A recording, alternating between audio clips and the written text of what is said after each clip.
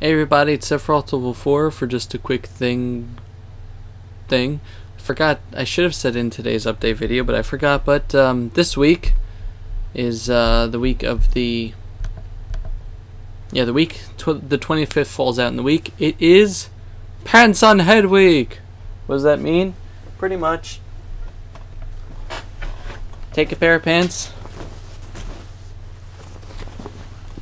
put it on your head, take a picture, take a video, send it to me. You get featured in a video. That's pretty much what it is. This uh, this was started a year ago by uh, my friend Meta, and uh, we had a few people last time, but um, uh, I think we could uh, we can get this rolling. You know, I have uh, just a bit more people that listen to me now, so you know, just send send me on Twitter or YouTube. There we go.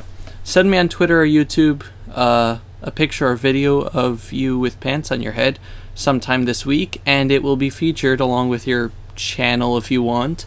You can ask not to be, uh, not to have your name. You could just be anonymous, but um, you know you'll be featured in a video on my channel. Links in the description and everything.